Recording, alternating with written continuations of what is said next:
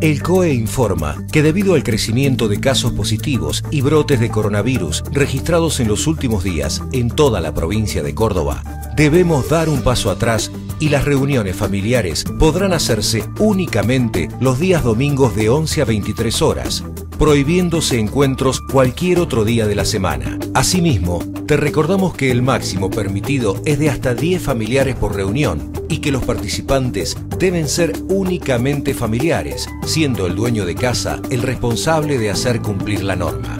En cuanto a las reuniones sociales, recordá que siguen totalmente prohibidas.